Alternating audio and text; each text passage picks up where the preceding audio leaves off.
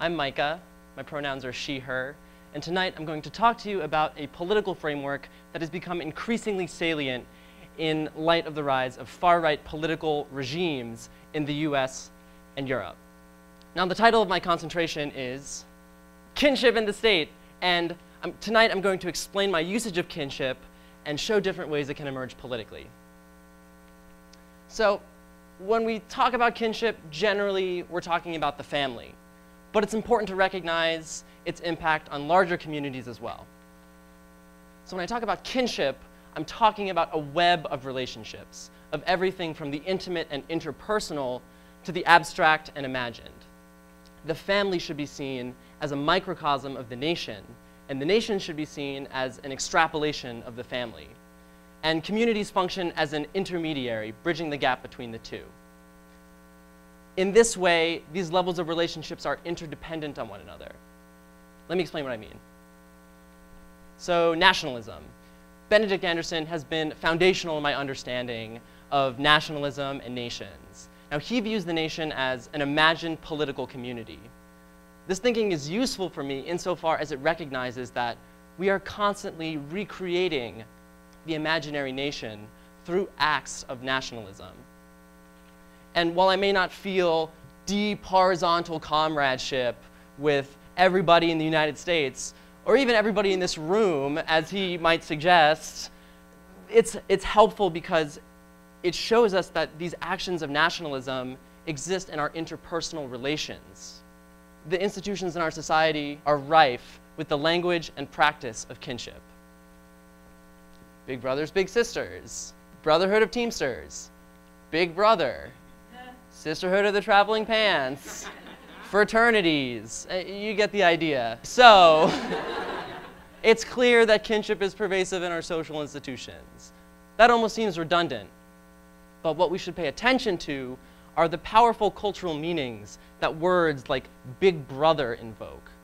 Now, we might assume that it's the family that provides for us the definition of what it means to be a big brother. But we see that this definition is appropriated by the nation. Now, this creates a dialogue between the levels of relationships. And now, the meaning of big brother is defined not just by the family, but the nation as well. And this is what it means to be a part of kinship. Now, what worries me, and what adds some urgency to my inquiry into kinship, is the ways that this relationship can develop in dangerous ways. So, what's so dangerous about this lady? Other than the fact that she wants to stop teaching the Holocaust in German public schools. Well, if you've been paying attention to the news lately, you might be aware of the rise of far-right parties and movements in Europe and the United States. She's from Alternative for Deutschland in Germany. Now, kinship for me has been an extraordinarily, extraordinarily useful framework in unpacking these movements. Brexit was ultimately about who the people in the UK saw as kin. This is taken at the Unite the Right rally in Charlottesville last summer. Now, I've been watching these movements very closely for a number of years, from fringe online communities to having political legitimacy in the highest reaches of federal governments. And analyzing these movements pushed me to think about the foundational violence of an act of kinship. It's so important to remember this, that every act of inclusion is also an act of exclusion. That by signifying your kin, you're also signifying the other. Now, white nationalism is definitely an example of this. I would say that they define themselves primarily by exclusion. In fact, I would say that their definition in relation to the other is so crucial to their ideology, but aren't all acts of kinship this way? Well, how do we break, how do we break down white nationalism with kinship? So without delving into their ideology too much, let's look at their 14 words that serve as a sort of mission statement. We must secure the existence of our people and a future for white children. Well, White nationalism invokes nation, our people invokes community, and white children invokes family. But what are the broader ideological implications for weaponizing kinship in such a way? So white nationalism might be a really easy target for this kind of analysis, but as I said, all kinship can be violent or exclusionary. While it's important to practice this kind of analysis on something uh, like white nationalism, we see it manifest in political movements that are supposed to be inclusive. Like this one at the Women's March this past year. Now, I named my talk after the blood and soil chant because I think it further goes to show how rooted white nationalism is in kinship. Blood invokes family and community as far as race, and soil invokes nation, citizenship, birthright. So it seems like the danger and violence that is married to kinship is inescapable. Can we redefine the parameters of our relationships? Well, we've tried.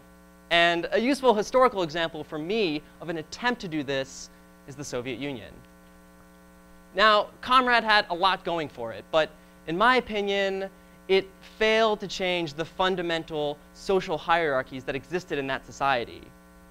It had a lot of radical potential, but what's so radical about presenting a national image of a family that looks like this? Or invoking the motherland and Stalin, essentially a national father figure in times of war. It seems to me that it isn't just enough to change the language of kinship, but kinship has to be changed in practice as well. So I've applied this kinship analytic to some varied examples. But what about us? US, us. What about our founding fathers? Or Uncle Sam? Or what about the ways that brotherhood can emerge and justify violence and imperialism? And who's excluded from a national image of a family that looks like this? And what kinds of violence and genocide are we willing to sweep under the rug that predate practices of kinship like this? Now, my family, we sit around our Thanksgiving table at our practice of kinship and denounce white nationalism while forgetting the genocide of Native Americans that made our kinship and Thanksgiving possible. Benedict Anderson says that nations are founded on a foundational violence that is forgotten in time. I don't think we're an exception.